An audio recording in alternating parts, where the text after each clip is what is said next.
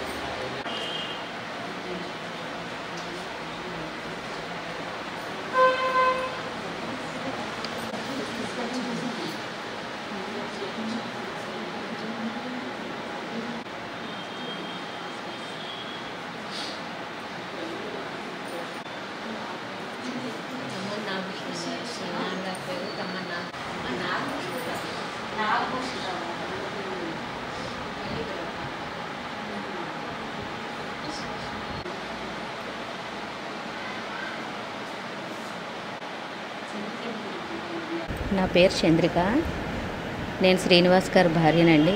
మాది శనగొప్ప బజారు పంతులు గారి షాపు. మా వారికి ఉన్నట్టుండి శనివారం మధ్యాహ్నం హఠాత్తుగా ఒంట్లో బాగాలేదు గబగబా హాస్పిటల్కి తీసుకెళ్ళాము. ఇక్కడ మా వల్ల కాదు అని డాక్టర్స్ చెప్తే విజయవాడ తీసుకెళ్ళామండి. విజయవాడలో కూడా రెండు రోజులు చూసాక చాలా కష్టం అని చెప్పారు. కష్టం అని చెప్పాక మేము కిమ్స్కి తీసుకెళ్ళాము. కిమ్స్కి తీసుకెళ్ళాక అక్కడ కూడా చాలా కష్టం అని చెప్పారు. కాకపోతే నేను సులభతర కుండలి యోగాలోకి ఒక పన్నెండు సంవత్సరాల నుంచి వెళ్తున్నానండి. అక్కడ మా ఫ్రెండ్ వాళ్ళ అమ్మగారు నాన్నగారు ఆల్రెడీ సెవెంటీ ఇయర్స్ పైన ఉన్నారు వాళ్ళకి. వాళ్ళు ఆల్రెడీ ఈ మధ్యనే ఒక డెసిషన్స్ తీసుకున్నారండి. వాళ్ళిద్దరూ చనిపోయిన తర్వాత వాళ్ళ బాడీల్ని వాళ్ళకి డొనేట్ చేస్తామని చెప్పి రాసిచ్చారు.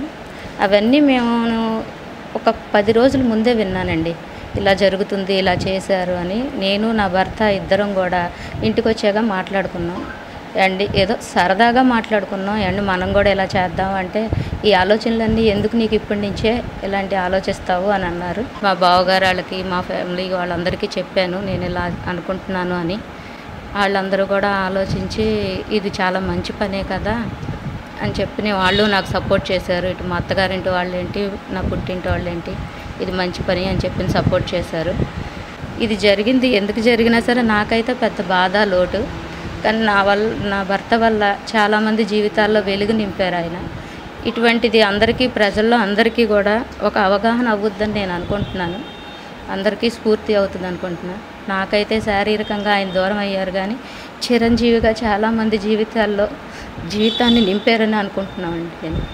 నేను చేసింది అది మంచిదో చెడుదో నాకైతే తెలియదు కానీ ఆయన అందరిలో బ్రతికించుకున్నానని నేను అనుకుంటున్నా.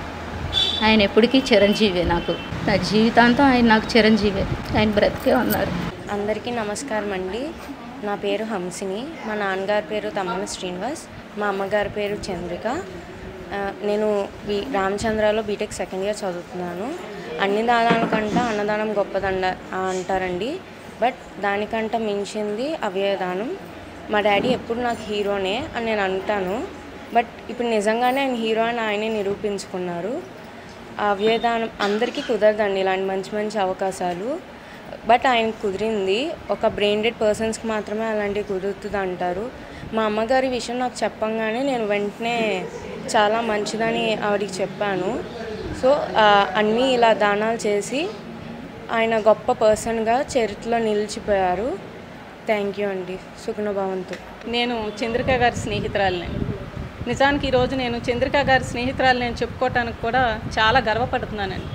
మనం కూడా ఏదైనా మంచి పని మనకు చేతనైనంతలో మేము యోగాలో ఫ్రెండ్స్ అండి. మేము సులభతర కుండనీలి యోగాలో ఫ్రెండ్స్ ఇందులో మా గురూజీ ఒకటి చెప్పారండి. మీరు సొసైటీకి డ్యూ ఉన్నది డ్యూటీ చేసి తీర్చాలి అని. ఆ డ్యూటీ ఇవిడి సక్రమంగా నిలిచి యోగా ఆవిడ ఒక పాత కిందే కాదు ఆవిడ జీవన విధానంగా మార్చుకున్న తీరు మాకు చాలా చాలా గొప్పగా అనిపిస్తుంది. ఆవిడని ఆదర్శంగా తీసుకుని మరి మనం కూడా మనకి చేతనైనంతలో ఎదుటివారికి సాయపడటానికి కానీ లేదా ముందు ముందు ఏదైనా ఇలాంటి సిచ్యువేషన్స్ వచ్చినప్పుడు అక్కడ వారి- వ్యక్తుల్ని మనం ప్రోత్సహించి అవయదానానికి సిద్ధపడేలా చేయడం కానీ మన కర్తవ్యమనే భావిస్తున్నానండి. సుఖినోభవంతు మనం తీసుకెళ్ళి బాడీని క్రిమేట్ చేసేటప్పుడు అంతా ఒక బూడిదలా చేసేస్తాం. కానీ పనికొచ్చే ఆర్గాన్స్ అన్న డొనేట్ చేస్తే ఈ రోజుల్లో ఎంతమంది డయాలసిస్ పేషెంట్స్ కానీ హార్ట్ పేషెంట్స్ కానీ వీళ్ళందరికీ అవి ఉపయోగపడుతున్నాయి. వాళ్ళందరిలో కూడా వాళ్ళ హస్బెండ్ బతికే ఉన్నారు. ఆ గుండె ఇంకో చోట కొట్టుకుంటానే ఉంది అనేది ఆవిడ చాలా నమ్ముతున్నారు.